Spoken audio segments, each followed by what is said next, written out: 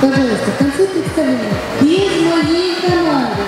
Мячики в бассейн не бросайте. Все мячи, которые окажутся в бассейне раньше времени, лотерея участвовать не будет. Ну а пока подготовка к следующему. Отделили наши